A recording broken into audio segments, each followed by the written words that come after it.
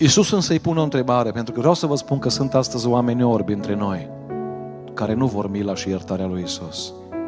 Vor un Iisus care să-ți umple buzunarul de la veston și cardul de la bancă. Vor foarte mulți un Iisus care dă, care îți dă un frigider plin, care îți dă o vacanță frumoasă. Bartimeu, tu ce vrei? Eram undeva într-o familie, m-am pus undeva la capul mesei, la colțul mesei. Era cămașa udă și era acolo soba mai aproape. Și îmi spunea gazda, Cristi, vezi că stai pe un loc sfânt. M-am uitat la covor să văd, poate e un covor mai special, poate e un, un fotoliu mai special. De ce e locul ăsta sfânt? Iubiți credincioși, vă invit cu respect să ne ridicăm în picioare, ascultăm cuvântul Domnului din Marcu, capitolul 10, de la versetul 46.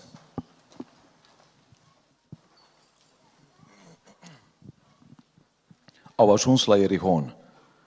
Și pe când ieșea Iisus din Ierihon cu ucenicii săi și cu o mare mulțime de oameni, fiul lui Timeu Bartimeu, un cercetor orb, ședea jos lângă drum și cerea de milă. El a auzit că trece Iisus din Nazaret și a început să strige, Iisuse, fiul lui David, ai milă de mine. Mulți îl certau să tacă, dar el și mai tare striga, Fiul lui David, ai milă de mine. Iisus a oprit și a zis, chemați-l. Au chemat pe orb și i-au zis, îndrăsnește, scoală-te, căci te cheamă. Orbul și-a aruncat haina, a sărit și a venit la Isus. Isus a luat cuvântul și a zis, ce vrei să-ți fac? Rabunii, i-a răspuns orbul, să capăt vederea. Și Isus i-a zis, du-te, credința ta te-a mântuit. Îndată orbul și-a căpătat vederea și a mers pe drum după Isus. Amin. Vă invit să ocupați locurile și împreună cu toții să spunem slăvit să fie Domnul pentru tot ce a fost și va fi și mai departe.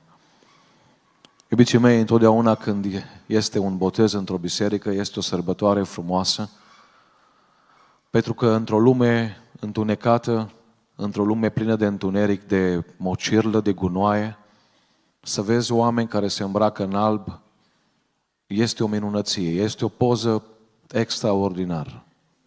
Am avut și noi botez la Deva, în urmă cu trei săptămâni, 20 de persoane au intrat în apă botezului. Am avut o mare bucurie ca și slujitor în biserica din Deva, pentru că, într-un mod special, doi, două persoane din cele 20 erau ultimii copii a unei familii formată din 10 odrasle. Mama bolnavă de cancer de 10 ani, cancer la colon, a avut această dorință, ori de câte ori vorbeam cu ea, să-și vadă toți copiii îmbrăcați în alb. Dumnezeu i-a promis că nu va muri, deși în ultimele luni venea doar în cârjă la biserică, doar la cina Domnului, cu greu mai urca scările bisericii, până nu-și va vedea ultimii copii îmbrăcați în alb. Emima și Elisei au îmbrăcat haine albă, ea n-a putut să fie prezentă, s-a uitat pe internet, iar ieri am înmormântat-o. Însă am înmormântat-o știind că Dumnezeu a împlinit visul unei mame care s-a pus la dispoziția Domnului prin sacrificiile făcute și care a putut să-și vadă toți zece copii îmbrăcați în alb. Să știți că cea mai mare realizare nu e să-ți vezi copilul poate într-o funcție mare în România sau cu mulți bani apărat. Cea mai mare realizare e să-ți vezi copilul călcând pe urmele tale știind că și tu calci pe urmele Domnului.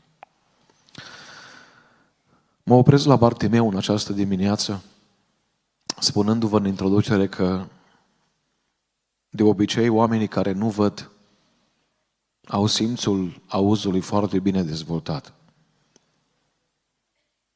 Ei depind de un auz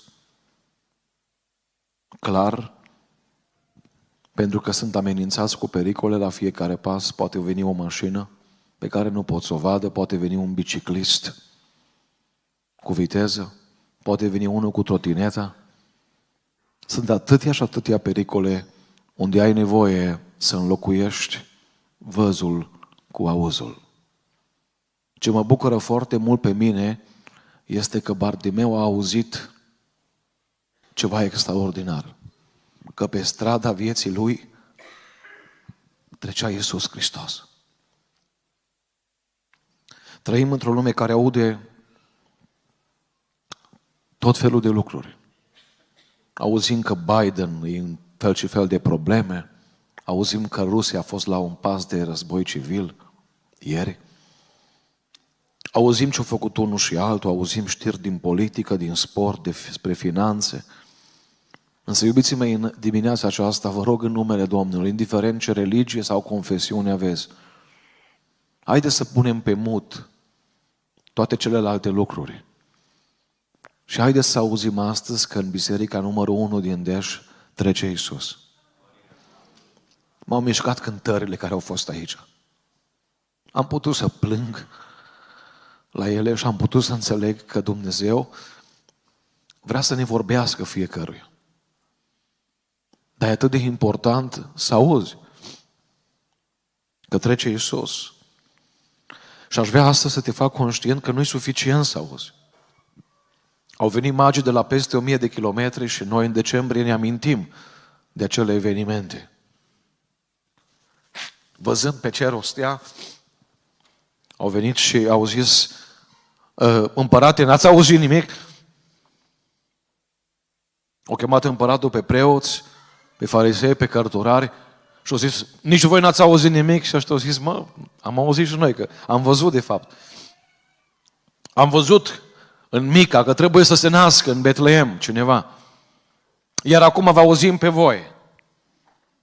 Eu dacă eram în locul magilor, vă spun sincer, mă așteptam ca preoții să vină cu mine sau cu noi câțiva kilometri, șapte, opt kilometri până la Betleem. Sunt oameni care aud, dar se opresc doar la atâta. Au cântat corul extraordinar, au cântat, a cântat fanfara, frumos grupurile. Să ne mai chemați când mai aveți botez. O să zic că cei mai mulți oameni. Însă Bartimeu nu s-a oprit doar atât, doar la atât. Nu s-a oprit doar la auz, la o veste, la o știre. Bartimeu a mers mai departe și vreau să răspund unei întrebări în această dimineață care sună astfel. Ce să faci când trece Iisus pe strada vieții tale?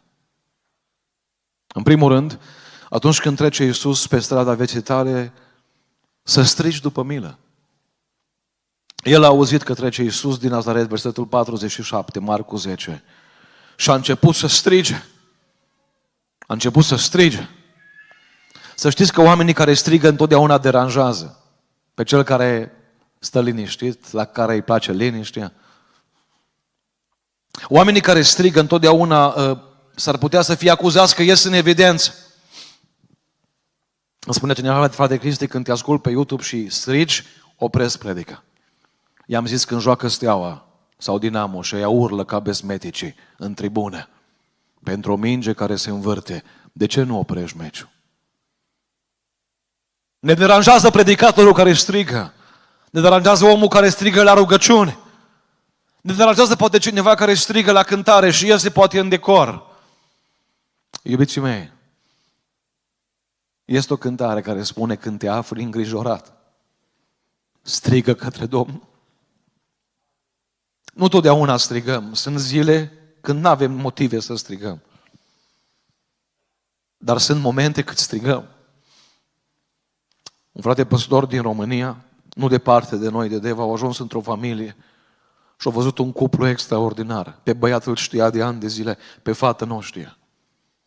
Un păstor cu experiență, cum sunt frații mai în vârstă, care au zeci de ani în slujire, își dă seama din câteva priviri ce e într-o casă. Și când ea a plecat până în bucătărie, a zis către el, cum ai găsit-o? Și el a zis, frate păstor, știi unde stau la mine la țară, îmi cunoști părinții și știi că în spatele grădinii noastre este o pădure. Luni de zile am mers în pădurea aceea și am strigat cum strig animalele din pădure la Dumnezeu. Puteam să caut pe TikTok, puteam să caut pe Instagram, puteam să caut pe FB, puteam să încerc eu. Dar am preferat să mă duc și să strig la Dumnezeu și am zis, Doamne, dă-mi o fată care să fie binecuvântare pentru mine. E nevoia care o am în viața aceasta, văzând că din trei divorțuri în România, aproape două falimentează, din trei căsătorii, aproape două sunt divorțuri. În Portugalia, 90% dintre cupluri divorțează. Văzând ce este în jur, frate păstor, am strigat la Dumnezeu și Dumnezeu mă binecuvântat. Nu știu care sunt nevoile tale astăzi. Nu-ți cer să urle aici între aproape o mie de oameni. Dar există un strigăt al inimii care se manifestă prin lacrimi, prin atenția sporită când trece Iisus, printr-o cântare care o, o, o, o simți până în măduva oaselor. Bartimeu, iubiții mei, a strigat. Dar vreau să subliniez acest aspect. N-a strigat după o casă mai frumoasă. N-a strigat după bani. Am fost ieri în Kaufland și uh, imediat a venit cineva lângă mine. Eu, când cineva îmi cere ceva, obișnuiesc să nu dau bani. Pentru că pe mulți oameni i-am strigat dându-le bani. Că au fost oameni care nu au turnut în viața lor 100 de lei în mână. Și nu știu cum se câștigă 100 de lei. I-am dat o piersică la femeia aceea și i-au zis, bani n-aveți! Că am copilul bolnav în spital și am zis, dăm te rog o dovadă că copilul ți-e bolnav în spital. N-am nicio dovadă, zice. Sunt lângă noi oameni, iubiții mei, cerșetori, sunt oameni poate invalizi, sunt oameni în cărucioare, sunt oameni bolnavi. Cei mai mulți caută uh, banii. Uitați-vă la omul acesta. A strigat după milă. Ai milă de mine, Iisuse, Fiul lui David. Iubiții mei, între noi astăzi este cineva pe nume Iisus care toată viața, că tot trăi pe acest pământ, o bărzit milă. Iar acum stă la dreapta Tatălui și mijlocește pentru noi. Și de ce? Că mai împarte și astăzi milă. Poate o să spui, eu am nevoie de un telefon nou, eu am nevoie de un costum nou. Iubiții mei, un om care merge spre iad nu are nevoie de lucrurile astea ca și lucruri prioritare. El are nevoie de milă, de iertare, de mântuire, de salvare. Trăim într-o lume astăzi când nimeni nu are timp să ne asculte. Când cei mai mulți te întreabă ce mai faci. Am fost în Statele Unite la Americii de trei ori până acum. Foarte mulți oameni, how are you? Și la vreo 2-3, eu am încercat să le spun prin ce trec. S-au întors și au plecat mai departe. Și am rămas dezamăgit. Că am înțeles că totul e un protocol. Totul e un zâmbet de fațadă. Iisus Hristos astăzi este interesat de lucrarea care o ai, de problema prin care treci, de boala prin, prin care treci, de păcatele care te apasă și poți să vii la Iisus și să spui, Doamne, ai milă de mine. În Statele Unite ale Americii, în câteva orașe, s-au instalat telefoane robot la care oamenii care au greutăți pe suflet să se poată descărca. Pentru că, repet, nu mai găsești oameni disponibili să te asculte, să plângă împreună cu tine, să se plece pe genunchi împreună cu tine. Statisticile spun că la acești roboți au ajuns să sune 200 de persoane pe zi. Și oamenii își puneau problema și apoi închideau că robotul nu avea soluții. AI-ul nu are soluții. Inteligența artificială nu are soluții. Este astăzi între noi cineva care nu doar că te ascultă, ci vine la tine și e gata să te ridice de unde ești. Spune Biblia când strigă un nenorocit, Domnul aude și îl scapă, nu spune că de necaz, îl scapă din necaz. Milă înseamnă să primești ceea ce nu meriți, har, îndurare, iertare. Iubiții mei, în iad oamenii cer milă. În Luca 16 s-a uitat bogatul în sus și a zis, Părinte Avrame, fie-ți milă de mine. Și știți ce își mai doresc oamenii din iad? Nu încă un avocat, nu încă un doctor, nu încă un jurist pe pământ, încă un predicator. Avrame am acasă frați care nu, nu știu de mântuire, care nu cred în rai și în iad. Trimite pe Lazar, fă un predicator, un vestitor. Astăzi foarte mulți oameni cer dreptatea lui Dumnezeu. Însă ar trebui să ceară milă. Cer dreptate în conflictul care l-au cu unii și cu alții. Însă ar trebui să ceară milă. Pentru că vine o zi a dreptății, a judecății, iubiții mei. Când nu o să mai pot să cer milă și nu o să mai pot să cer milă. Mă bucur că de cele 17 suflete, Dumnezeu a avut milă. Albul înseamnă că cineva s-a oprit în dreptul lor și le-a schimbat viața și le-a transformat gândirea și le-a transformat vorbirea. Doi, Ce să faci când trece Iisus pe strada vieții tale în al doilea rând? Să nu asculți glasul mulțimii. Spune aici Biblia, după ce a început Bartimeu să strige în versetul 48, vă spuneam că strigătele deranjează. Mulți îl certau să tacă. Să tacă. Iubiții mei, dacă ar fi ascultat glasul mulțimii, Bartimeu ar fi rămas orb toată viața. Ar fi rămas tot la marginea șanțului. Ar fi rămas tot izolat. Ar fi rămas acolo tot nerestaurat. Să știi că atunci când vrei să te apropii de Isus, când vrei să fii iertat, când vrei să te schimbi, când vrei să începi o viață nouă, mulțimea te va suna. Mulțimea te va opri, mulțimea te va trage de haină. Îmi spunea cineva, de 10 ani merg la biserică, îmi place la voi. Dar nu reușesc să fac botezul. Și am întrebat de ce. Păi zice, tot neamul meu sare pe mine dacă vreau să fac cateheza. Dacă mă duc la biserică, nu e o problemă. Cum vreau să fac pasul ăla decisiv? Toți au treabă cu mine. Spunea cineva, când niște studenți vorbeau de orice subiect, nu era problemă. Când vorbeau de Isus, era problemă. Iubiții mei, cu durere vă spun astăzi că o viață întreagă ținem cont de ceea ce spun oamenii. Însă ar trebui să ținem cont de ceea ce spune Dumnezeu. Pentru că ultimul cuvânt pe care Dumnezeu îl va avea va fi du-te, plecați, mergeți că nu vă cunosc, sau vin o slugă bună. Toată viața ținem cont de ceea ce spune unul sau altul. Vreau să spun astăzi ceva foarte important. Nici la înmormântarea ta, oamenii nu vor vorbi despre tine cele 3-4 ore în continuu. Am fost la mormântări, am stat și la masă după aceea. Oamenii vorbeau de BMW, de ochelari de soare, de Tesla, de lucrurile astea. Toată viața ținem cont, oare ce o să spună unul sau altul? Șeful tău, la câteva ore după înmormântarea ta, va căuta pe altcineva, că nu ești de neînlocuit. Viața va merge mai departe. Oamenii vor scăpa două, trei lacrimi și vor pleca. Și ai ținut toată, toată viața cont de ce spun ei. Și ai zis, nu fac pasul, să nu supăr pe nu știu cine. Să știți că ani de zile m-am, m-am frământat și eu să nu supăr pe unul sau pe altul. Mi-am dat seama că nici Iisus nu a putut să nu-i supere pe toți.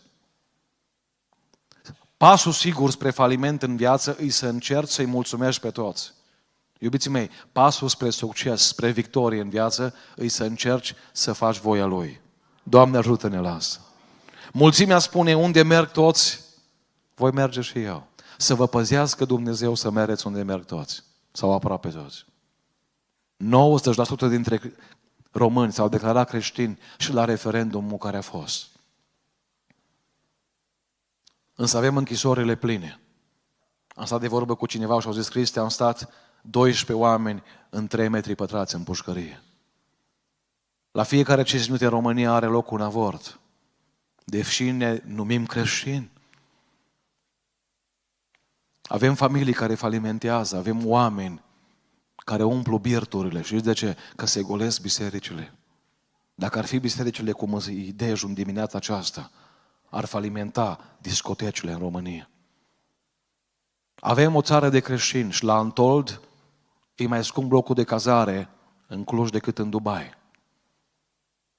Avem creștini care se numesc creștini pe foaie și familii care împart pe băiat și pe fată ca și pe mașina de spălat și mașina de oscat. Aveți grijă că mulțimea se numește creștină, dar n-au viață de creștini. Și Biblia spune că largă este poartă, poarta și largă este calea. Și mulți. În viață să încerci să fii de partea celor puțini. 17 din toți dejul e puțin.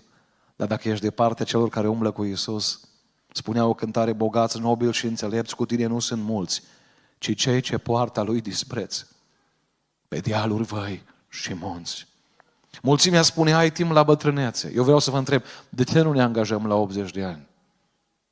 De ce la șeful nu-i dăm bastonul și ochelare? Și nu vreau să jignesc pe cineva, dar înțelegeți la ce mă refer. De ce nu ne căsătorim la 80 de ani? De ce soției și soțului îi dăm cei mai frumoși ani? Iar lui Iisus îi dau bătrânețea, îi dau pensia. Dar îți garantează cineva că vei ajunge acolo? Voi nu vedeți că prin glasul mulțimii diavolul vrea să ne oprească, să nu facem pasul? Să vorbesc de seara despre droguri la noi la biserică. Nu mi-am imaginat vreodată că va fi nevoie să vorbesc. Și am auzit aici ce s-a spus despre droguri. Îmi spunea un băiat de centra de Cristi, zeci de mii de euro pe an, 60 de mii de euro pe an dădeam pe droguri, 5 mii de euro pe lună. De 9 ani Dumnezeu m-a scos de acolo. Dar mulțimea, prietenii, cei de care eram înconjurat, sunt tot acolo. Eu am o familie binecuvântată, am copii. Și ei sunt tot în faliment, tot în gunoaie, tot în mizerie. De ce? Pentru că le place glasul mulțimii. Timpul le șterge pe toate. Asta e o altă expresie a mulțimii. Nu-ți spune taci, ca la Bartimeu. Îți spune așa mai, mai frumos, mai voalat. Timpul le șterge pe toate. Dacă eu murdăresc sacoul acesta și îl pun în dulap, să știți că timpul nu-l va curăța. Sacoul ăsta are nevoie de ariel, de persel. Păcatele nu se spală cu persil, ci cu sângele lui Isus Hristos care a murit pentru noi. Timpul nu le șterge pe toate. Biblia spune că, auziți, ferice acum de morții care mor în Domnul. Ei se vor odihni de ostenerele lor, căci faptele lor îi urmează. Toată viața, spuneam ieri la mormântare, punem preț pe ceea ce lăsăm aici, pe telefoane, pe poșete, pe haine de la Shane, pe mașini, pe case. 8, 10, 14 ore pe zi să muncim. Șeful meu în America doarme 4 ore pe noapte de 7 ani de zile. Să muncească, să strângem. Și Biblia spune că într-o zi tot ceea ce vom duce cu noi vor fi faptele noastre, nu obiectele, nu uneltele, nu hainele, nu cele materiale. Am o întrebare pentru dumneavoastră simplă și logică. Pe ce ar trebui să punem mai mult preț? Pe ceea ce ducem sau pe ceea ce lăsăm? Mulțimea îți spune, lasă-L pe Iisus în pace. Vezi de viață, trăiește clipa. Mai știți reclamele acelea care erau, trăiește clipa. Alt, altceva spune mulțimea, eu nu-mi schimb credința în care m-am născut. Am o veste bună pentru toți, nimeni nu se naște în credință. Toți ne naștem în păcat. Cineva s-a pocăit undeva în județul Cara și era bețivanul satului. O să mulțimea pe el. Câte vreme au băut, n-au avut treabă mulțimea cu el. Ți-ai schimbat credința. Te-ai nenorocit. Și el a zis, credința mea a fost birtul, cum să nu o schimb? Ce, n-am avut nicio credință, zice. Birtul. Iubiții mei, vreau să vă spun astăzi, mulțimea pleacă. Mulțimea pleacă când nu mai ai bani, când nu mai ai sănătate. Uitați-vă la fiul risipitor câți au fost lângă el când totul mergea bine. Când avea buzunarele pline. Însă într-o zi vorbesc în termenii noștri, când au băgat cardul și au scris fonduri suficiente, au plecat mulțime. Să nu vă lase Dumnezeu să ajungeți în spital să vedeți câți dintre oamenii care v-au spus fel și fel de lucruri mai sunt lângă voi. Să nu vă lasă Dumnezeu să aveți nevoie de 100 de euro împrumut, să vedeți cum pleacă mulțimea imediat. Însă este unul care rămâne lângă noi. Și ăsta e Iisus Hristos. Bartimeu s-a lămurit cu mulțimea. O știu că ăștia, că ăsta, ăștia care strigă acum pe el, nu-l vor ajuta cu nimic. Și el îl să asculte de Isus. Mulțimea vine și pleacă. Lângă Lugoj, o tânără Ana, de 22 de ani, în urmă cu 4 ani, mergea cu cartofi la piață, cu tatăl ei. Într-o curbă o intra cineva pe contrasens în ei, în, în ea. Ea era într-un bus cu două tone jumate de cartofi, tata era în față cu alte două tone jumate. Toți cartofii din spate au venit pe ea, ea s-a lovit de volan, a intrat cu capul în volan și a murit pe loc. 22 de ani. În Biblia ei s-au descoperit următoarele cuvinte. Mă țin strâns, nu de o funie, că s-ar putea rupe. Mă țin strâns nu de un plan, că s-ar putea nărui. Mă țin strâns nu de un om, că ar putea să plece. Mă țin strâns de Dumnezeu. Ce rare sunt oamenii ăștia. O fost ziua ei în săptămâna aia și de ziua ei o mers în Timișoara să viziteze bolnavii. La mormântarea ei spunea un om din lume, domnul Ionică, către tatăl ei, fata asta îmi va fi martoră la judecată dacă nu mă pocăiesc. Dar de ce spuneți asta? Am văzut o săptămână asta, zice, cum o mers în sat la o bătrână care și-a pus roșii, dar care nu are puterea să smulgă buruiana și să le lege. Și am văzut-o pe fata ta, fără reflectoare, fără aparate de fotografiat, fără transmisie live, cum lega numele Domnului roșiile alea la o bătrânică. Fata ta a fost pregătită să se întâlnească cu Dumnezeu. Suntem pregătiți să ne întâlnim cu oameni, de multe ori parfumați, bine îmbrăcați, dar întrebarea care o am eu în această dimineață pentru voi, ești pregătit să te întâlnești cu Dumnezeu? În al treilea rând, iubiții mei, știți ce a mai făcut Bartimeu? A plecat de la locul la care a stat o viață întreagă. Marcu 10 cu 50, cu 49, au ascultat ce spune Biblia.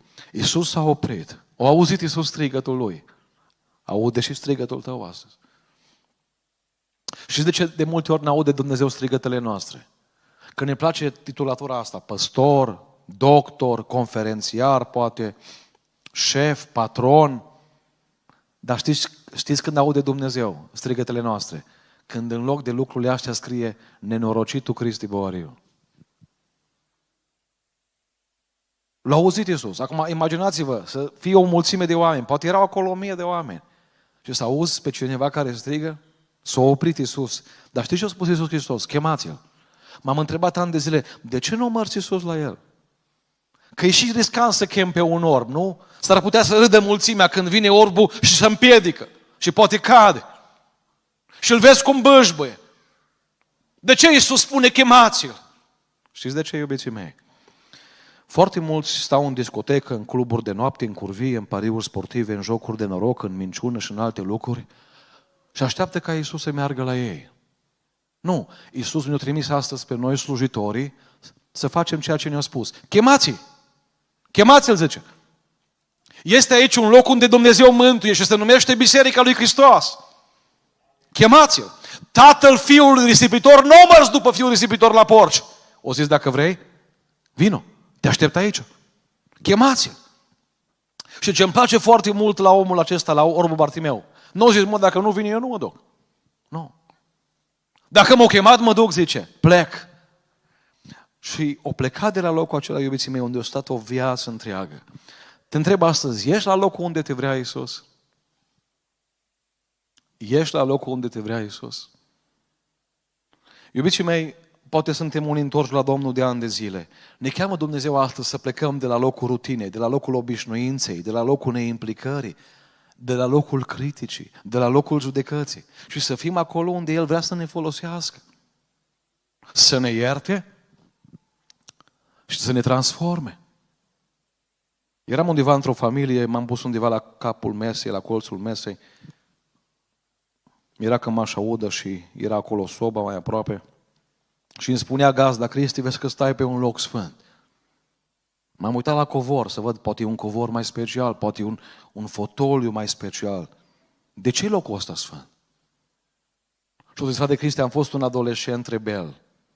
Aproape în fiecare seară plecam cu prietenii la tot ce se face în lume, nu le mai enumăr, că nu merită enumerate. Mama mea la un timp nu mai putut cu mine, indiferent ce îmi spunea, nu mai dădeam doi bani pe ea.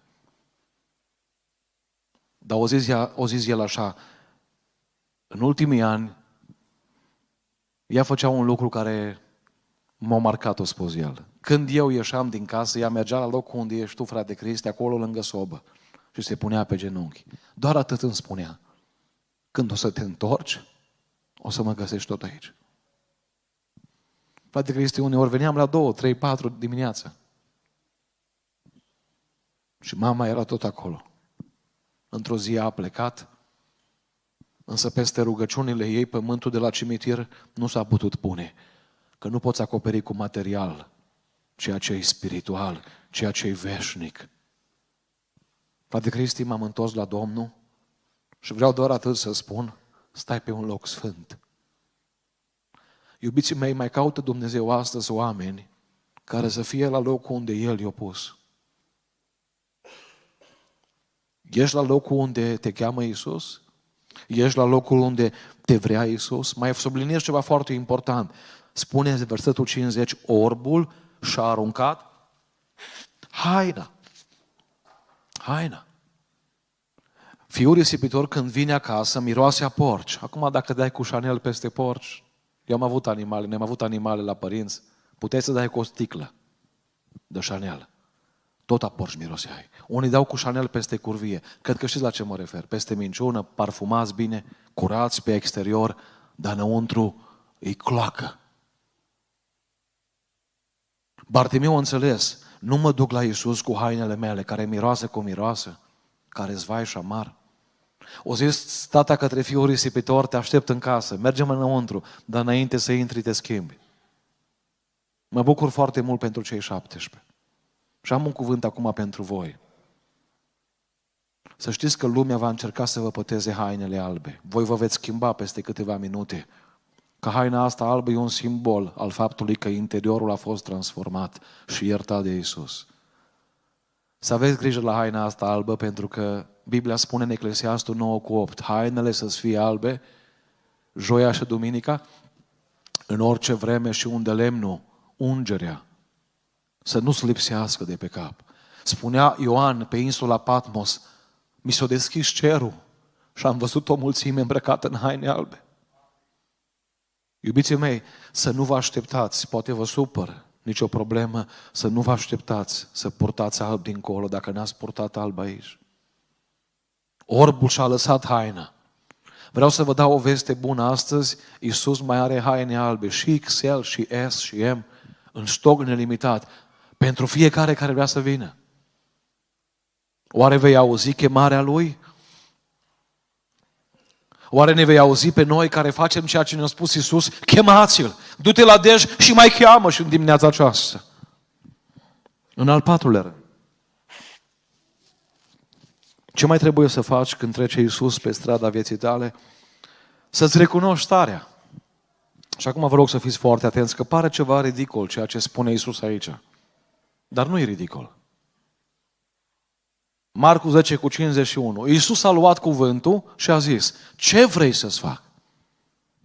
Iubiții mei, vreau să vă întreb, dacă un doctor ar întreba pe un om bolnav care să-ți bate între viață și moarte, ce vrei să-ți fac? Nu ar părea ciudat. Vine Bartimeu așa bâșbâind. Vine Bartimeu poate împiedicându-se. Îl vezi de la o poștă că nu vede și Iisus îl întreabă, ce vrei să-ți fac Bartimeu? Credeți că nu știa Iisus că Bartimeu e orb? Credeți că nu știa Iisus că Bartimeu e păcătos? Iisus însă îi pune o întrebare, pentru că vreau să vă spun că sunt astăzi oameni orbi între noi, care nu vor mila și iertarea lui Iisus. Vor un Iisus care să-ți umple buzunarul de la veston și cartul de la bancă. Vor foarte mulți un Iisus care dă, care îți dă un frigider plin, care îți dă o vacanță frumoasă. Bartimeu, tu ce vrei? Îmi spunea cineva recent de un cerșetor din Galați. 8.000 de lei face pe lună din cerșit. 80 de milioane. Vreau să vă întreb, credeți că cerșetorul ăsta vrea să îmbrace mâine haine noi, să facă duș, să fie într-un apartament și să lucreze la Kaufland pe 2000 de lei? Vă asigur că nu. Bartimei, tu ce vrei? Că am trecut pe lângă mulți oameni în viață, ca și tine, care au vrut stomacul plin, minunile mele, vindecare, dar nu mântuire. Tu ce vrei, Bartimeu?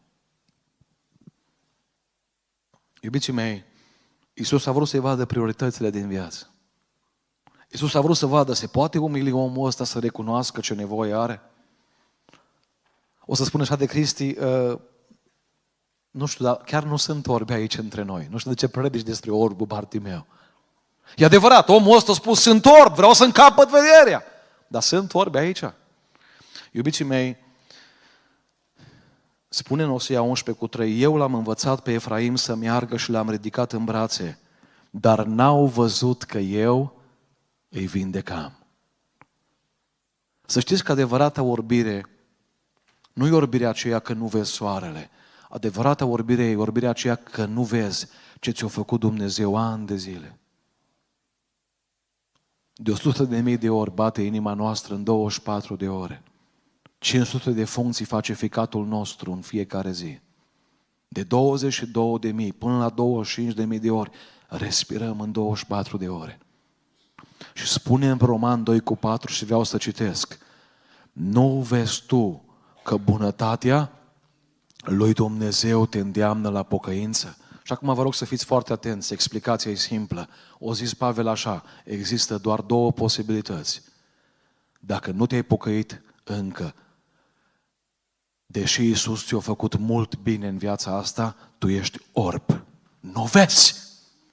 Iar dacă te-ai pocăit, înseamnă că ai fost vindecat de orbire. Înseamnă că într-o zi ca cei 17 te-ai oprit și ai spus, Doamne, am citit horoscopul ani de zile, deși Tu mi-ai dat viață.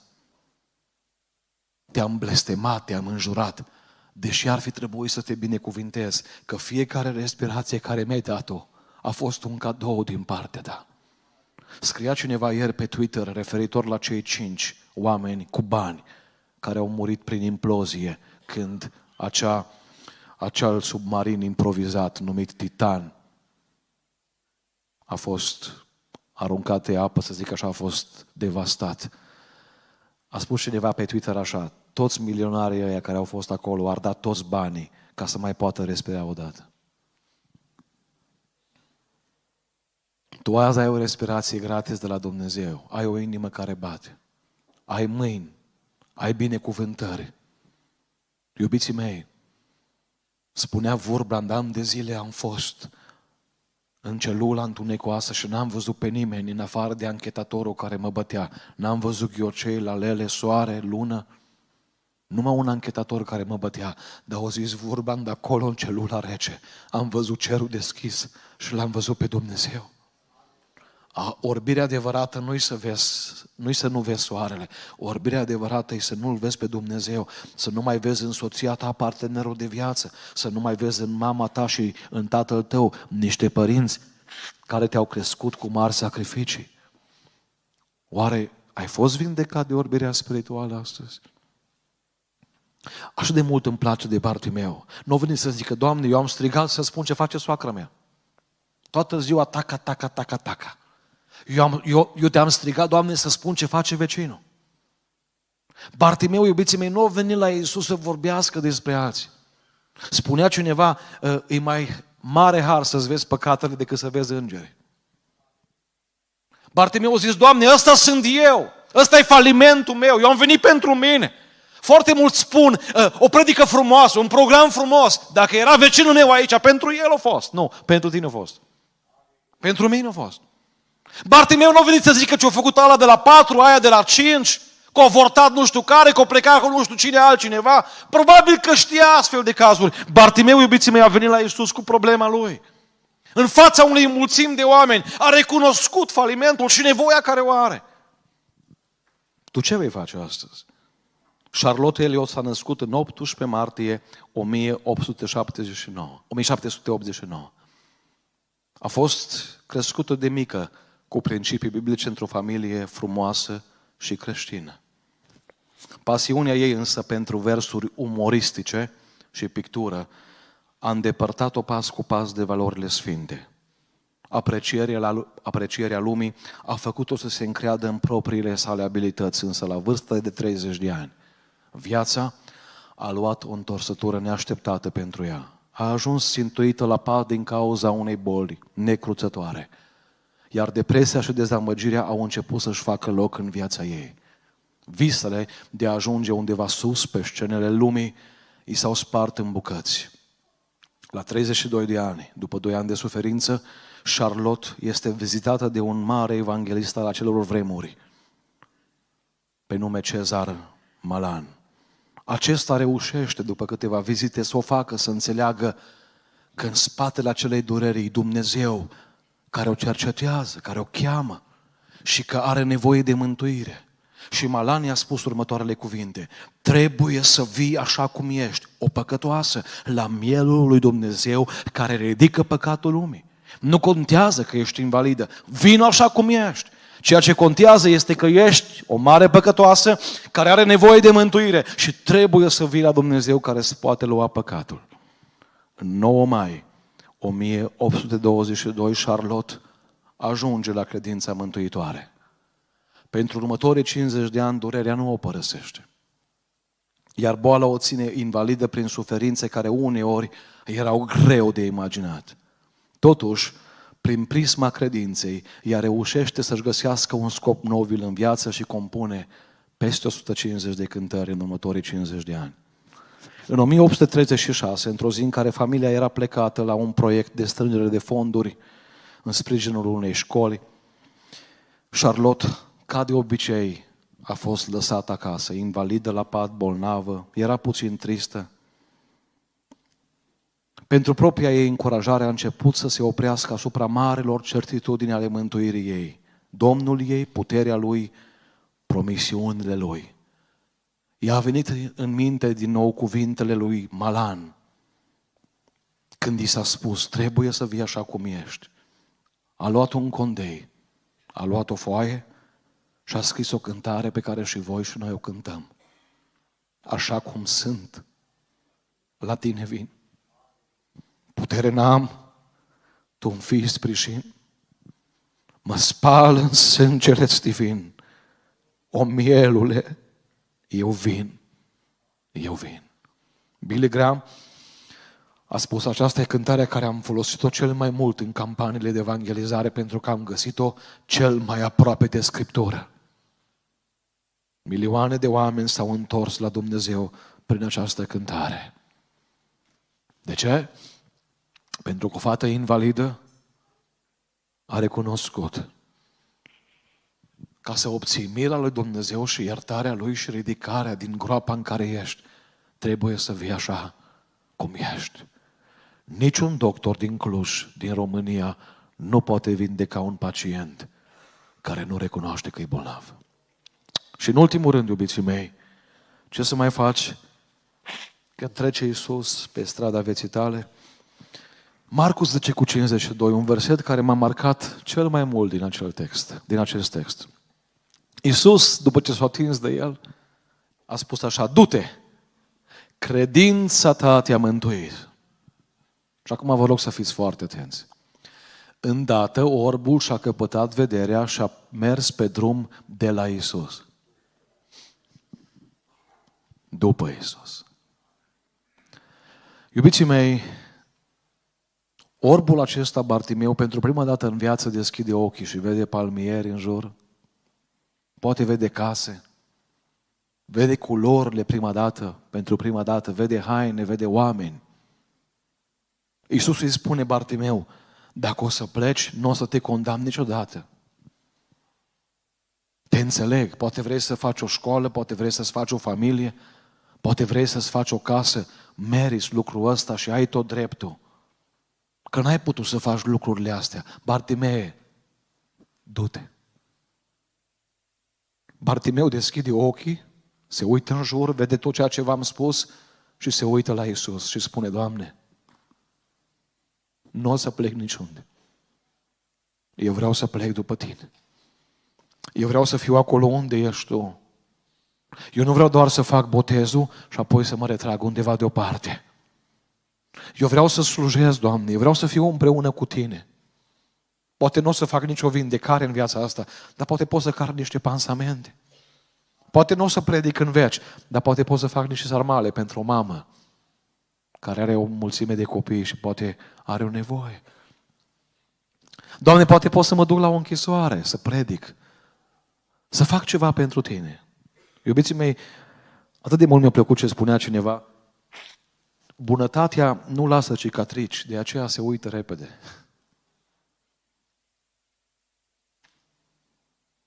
Foarte mulți oameni au venit după Isus și după ce au fost vindecați au plecat. Și vă rog să fiți atenți, 5.000 de oameni la înmulțirea pâinilor, 82 ucenici, pleacă 70, rămân 12. În seara cine iese Iuda afară rămân 11, Ghețima rămân 3, la cruce Ioan. Observați că pe măsură ce ne apropiem de cruce, de slujire, de transpirație, de chin, de jerfă, de baciocuri, de scuipat. Observați că mulțimea scade? Pentru că spunea Traian Dors căci mulți au stat cu el la mese. Și astăzi e o masă aici. Dar prea puțini au tras la joc. Unde vei merge după acest program? După această slujbă? Mulțimea a rămas uimită. Vă rog să vă uitați în Biblie. Din toți cei prezenți acolo, doar lui i-a spus Iisus Hristos că e mântuit. Sunt mulți români mântuiți, uh, uimiți, dar foarte puțini români mântuiți. Sunt mulți și în iad vor fi mulți care vor da like-uri sau care au dat like-uri la predici, care au spus, bine le-ai zis-o. Că și Irod au apreciat cum predica Ioan, dar nu s-au pocăit niciodată. Astăzi te invit să ieși din mulțime, să faci un pas spre Isus, să-ți schimbi viața și să spui, Doamne, nu vreau doar să aud că ai trecut pe aici. Vreau credința aceea care schimbă viața, care schimbă destinul. Iubiții mei, ascultați-mă foarte bine. Credința care nu-ți schimbă viața nu te poate duce în rai niciodată. Pentru că și dracii cred și se înfioară. Știți că sunt draci, în ghilimele, mai pocăiți. Hai să zicem, mai sensibili decât mulți români? M-a anunțat Facebook-ul nu de mult că o mie de înjurături am ajuns pe săptămână pentru că predicăm Evanghelia și în mediul online. O mie de comentarii trebuie să-mi blocheze și deja cine, trebuie să mă, deja cine mă înjură o face cu spații și cu puncte între litere, că altfel îi se blochează comentarii automat. De ce? Că mulțimea nu suportă adevărul. Mulțimea nu suportă să-i spui să schimbe viața. Ar vrea un Iisus care să te lase în șans, să poți să tragi pe nas sau să-ți bagi în venă și mai departe. Să poți să-ți bagi nevasta și mai departe, să-ți poți să, să o înjuri, să poți să faci avor și mai departe. Și dacă se poate să ajungi și în rai. Nu. Nu asta e pocăința. Pocăința este asta. O viață schimbată, o haină nouă. Iubiții mei, aș da orice, parcă aș vrea să cumpăr, dacă ar fi fost un video live, să, dar nu a fost, să-l văd pe Bartimeu cum a mers după Iisus, plin de bucurie. Parcă mărturisim la toți ce s-a întâmplat. Să nu tăceți, iubiți candidați. Cea mai puternică predică e mărturia voastră. Închei spunându-vă că la cutremurul care a fost în Turcia anul acesta, după cum știți, au murit mulți oameni. Milioane au rămas fără de post, însă presa nu mai scrie de ei că nu mai e așa interesant. După 17 ore de la cutremur, unul dintre salvatorii care lucra acolo de zori a ajuns lângă niște dărâmături, a dat niște bolțari, niște beceauri la o parte și spre groaza și spre surprinderea lui amestecată, această groază cu surprindere, a văzut acolo o placă de beton, așa undeva la 30 de grade, înclinată, o fetiță de 8-9 ani și un băiat de 6-7 ani. Fata ținea mâna așa deasupra băiatului ca nu cumva uh, betonul să-i facă, să-i strivească, să-i facă praf. Vă dați seama că era un gest care oricum n-ar fi ajutat. Dar grija ei o marcat lumea întreagă. Am observat acea poză, am rămas uimit, dar cel mai uimit am rămas de întrebarea care i-a fost pusă fetei. Salvatorul, ca să nu o facă pe fată să sufere un șoc, o sperietură după 17 ore, fără mâncare, în întuneric, fără apă. Trebuie să fii foarte atent ce cuvinte adresezi celui în cauză. Și Salvatorul, pe bună dreptate, a pus o întrebare unui copil care suna astfel. Îți plac jucăriile?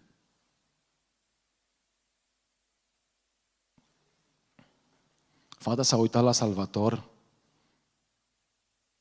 și a spus următoarele cuvinte, ocolind întrebarea. Domnule, dacă mă scos de aici, o să fiu sluga ta toată viața. O să spuneți ce legătură are asta cu predica.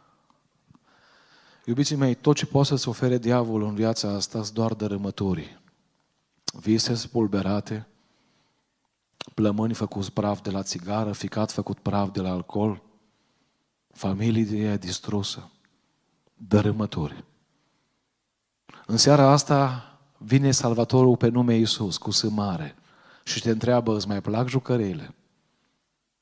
Mai are valoare Lego sub dărâmături sau păpușa Barbie? Te mai gândești la lucrurile astea? Îți mai aduc fericirea lucrurile astea? Aș vrea astăzi să iei răspunsul acesta al fetei și să-l pui în dreptul tău. Și să spui către Marele Salvator, Doamne, dacă mă scos de aici, din dependența mea de asta, asta, asta, de viciile mele, o să fac ce fac cei 17. O să fiu robul tău sau roaba ta toată viața. Pentru că, iubiții mei, nu există o libertate mai frumoasă decât robia lui Hristos. Închei acest mesaj, închei aceste cuvinte simple, le-am spus din inimă, le-am spus știind că sunt responsabil de ceea ce spun, întrebându-vă, nu invidiați pe cei 17. Am văzut tineri când o să cumpăra cineva iPhone 14, mi-a l-a invidiat. Când și-a cumpărat o mașină mai faină, l-a invidiat. Aia e invidie rea. Este azi o invidie bună. Să te uiți la fostul Bartimeu și la actualul Bartimeu. Pe fostul Bartimeu nu poți să-l invidiezi. Dar pe actualul Bartimeu ar trebui să-l invidiezi și să spui, vreau și eu. Așa. Vreau și eu o viață nouă. Vreau și eu cu Isus. Vă doresc, stimați candidați, drum bun spre cer. Aveam 17 ani când am făcut pasul pe care îl voi îl faceți astăzi. Au trecut ani, au trecut 20 de ani atunci și vreau să vă spun că El a rămas credincios. Iisus a rămas lângă mine și poate rămâne și lângă voi. Iar când Ben Hadad se întoarce din când în când și vrea să ne lovească, avem la Tatălul mijlocitor. Avem armătura Duhului Sfânt, darurile Duhului Sfânt și roada Duhului Sfânt, prin care putem să fim biruitori. Îmi doresc, în ziua când se va face strigarea în cer, niciunul din voi să nu lipsească. Și îmi doresc toată mulțimea aceasta prezentă azi aici să ne ajute Bunul Dumnezeu să mergem spre cer. Amin.